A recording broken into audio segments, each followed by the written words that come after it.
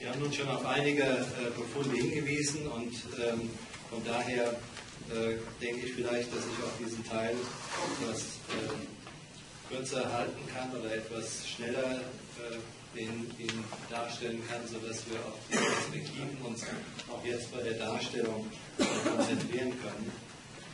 Ähm, zunächst nochmal äh, die äh, Autorengruppe, namentlich äh, hier in der Auflistung auch äh, die äh, Zusammenstellung der Institute, also neben dem DIPFIS ist das Deutsche Jugendinstitut, das Hochschulinformationssystem in Hannover, das Soziologische Forschungsinstitut in Göttingen und äh, die sind es dann noch die statistischen Ämter des Bundes und der Länder, die den Bildungsbericht insgesamt verantworten.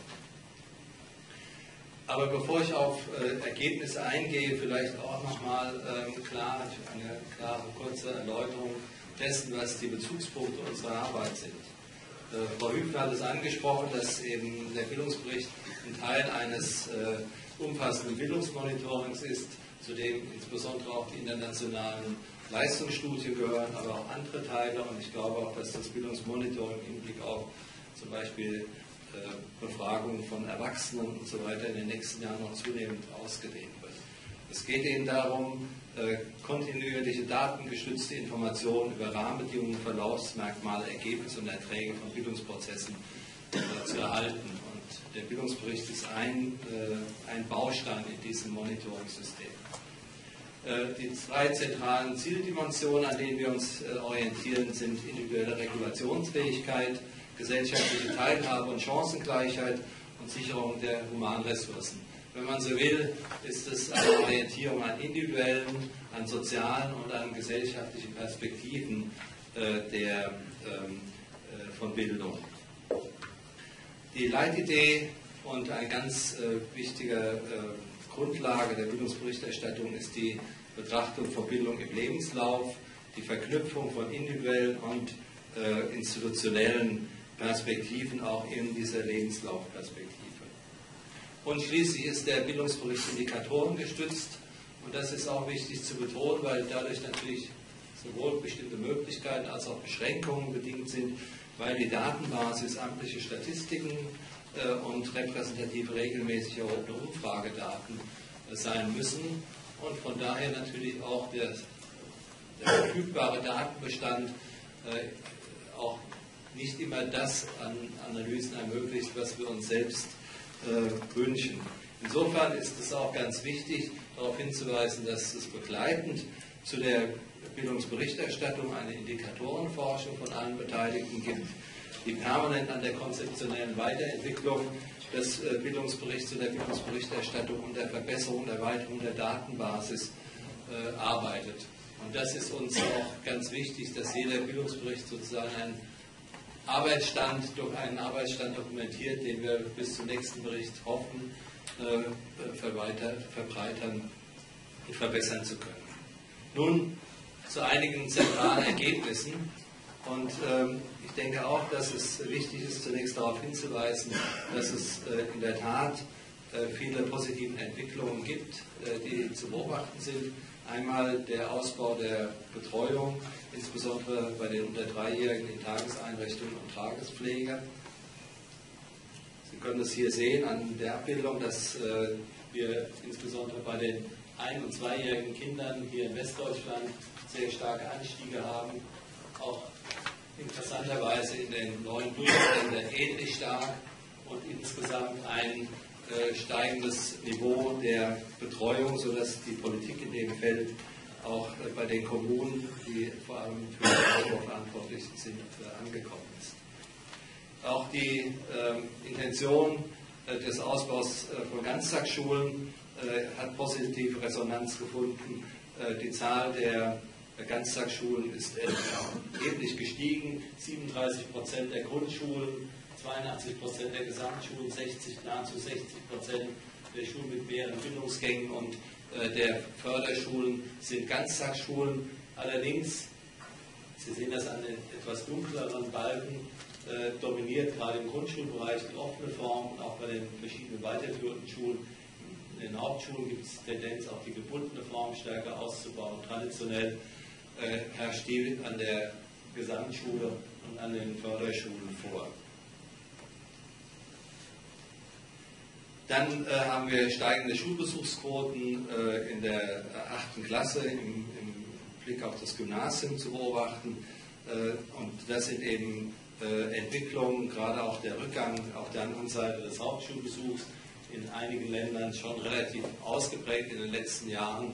Das heißt, es sind also keine Folgen jetzt der Reorganisation der Sekundarstufe 1, die sich hier zeigen, sondern es sind wirklich äh, sozusagen ein, ein Vertrauensverlust übrigens auch bei der Lehrerschaft, die die Übergangsempfehlungen für die Hauptschule aussprechen, der Hauptschule, der äh, und äh, mit einer zentrale Ursache dafür, dass hier ein starker Rückgang zu beobachten ist, wenn auf der anderen Seite das Gymnasium weiter steigenden Zuspruch verzeichnet.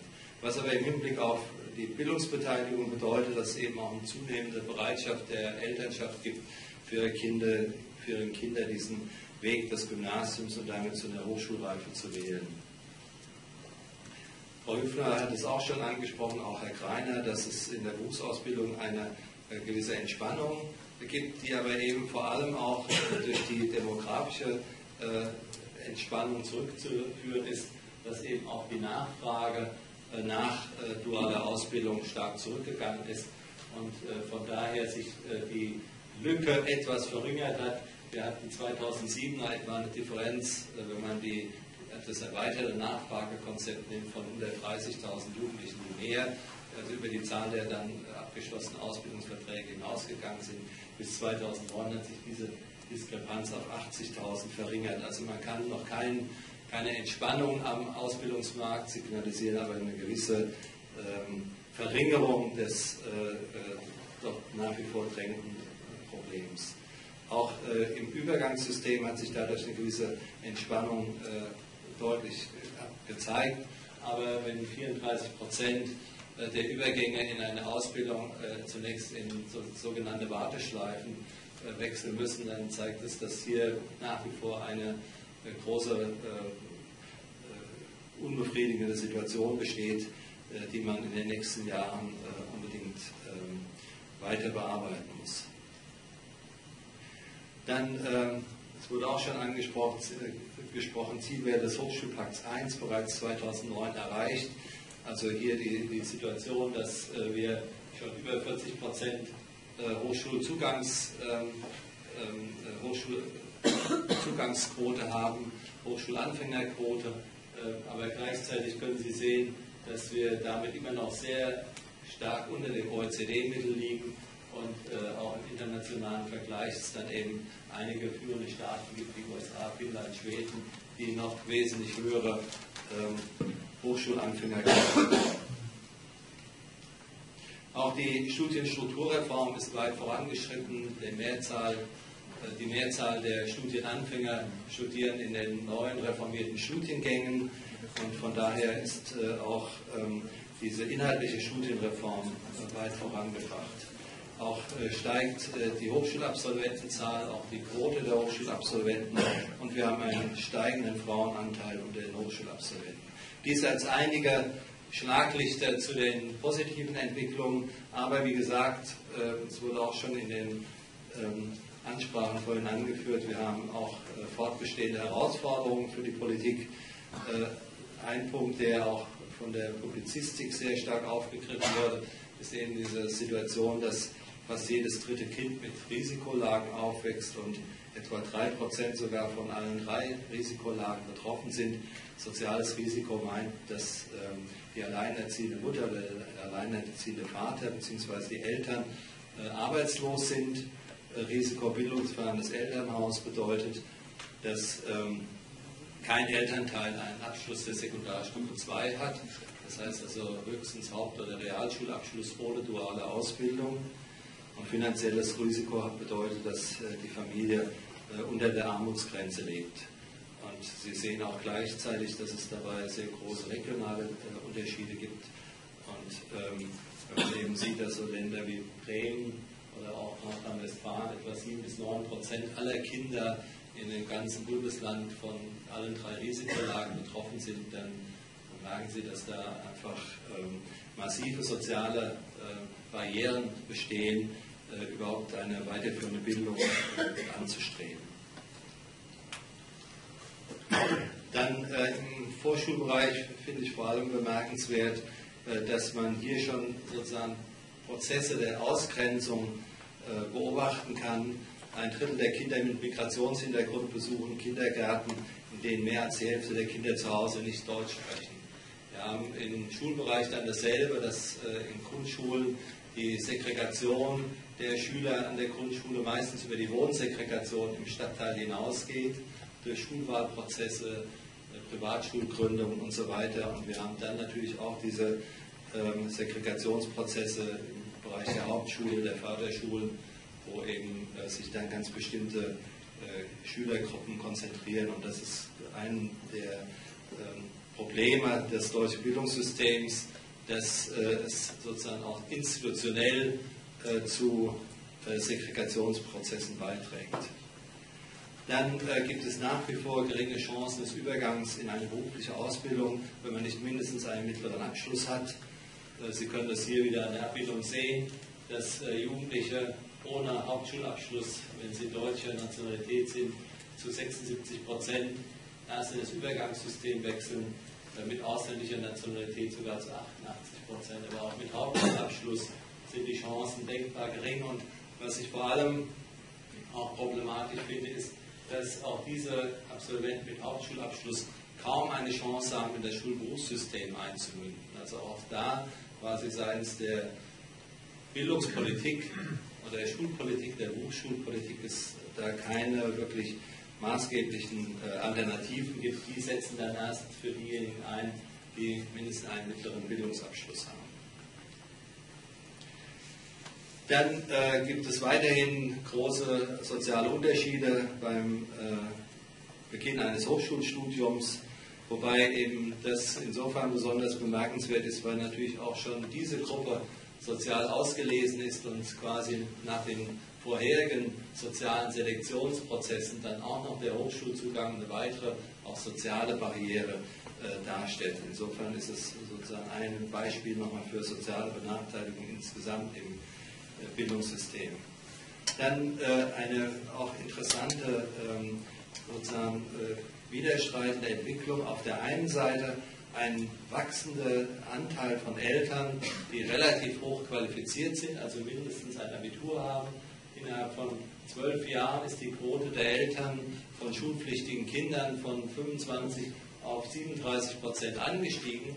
Aber auf der anderen Seite haben wir auch einen Anstieg der Eltern ohne Schulabschluss. Und äh, das äh, ist ein Anteil, der jetzt bundesweit mit 4% nicht besonders dramatisch wirkt, aber der steigt dann bis zu 10% in bestimmten Ballungsregionen an, sodass eben diese, ähm, äh, diese, dieses Spannungsverhältnis von einerseits sehr bildungsbewussten Eltern, auf der anderen Seite doch einer Gruppe bildungsferner äh, Eltern, die oft dann auch unter sozialen oder ökonomischen Risiken leben, äh, doch die, ähm, die Situation im Moment, glaube ich, ganz gut charakterisieren.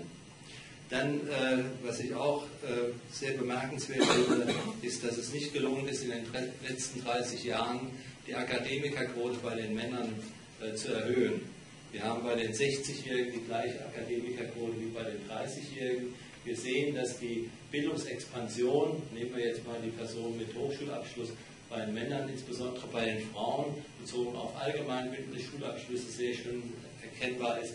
Auch bei den Frauen gibt es einen wachsenden Anteil, die äh, einen Hochschulabschluss erwerben. Auch in dem unteren Qualifikationssegment ohne Abschluss eine Reduktion der Frauen ohne Abschluss. Bei den Männern sogar hier eine Gegenbewegung. 12 Prozent äh, 60-jährige Männer, 19 Prozent 30 bis 35-jährige Männer ohne äh, Ausbildungsabschluss. Und äh, das finde ich schon einen äh, sehr dramatischen Befund, der dann nun die Frauen auch diese 21%-Schwelle erreicht haben, irgendwie die Frage stellen, wie wird es denn nun weitergehen? Gibt es sozusagen soziale Barrieren gegen diese, die, oder wo, ist, wo, sind die Schwierigkeiten, diese, diese 21%-Schwelle im weiteren Ausbau des Hochschulbereichs zu überwinden? Und Das ist, glaube ich, eine der spannenden Fragen für die Zukunft, ob es tatsächlich gelingt, jetzt hier äh, starke, höhere Quoten, die wir ja äh, benötigen, äh, zu erreichen. Wenn man das zusammenfasst, ich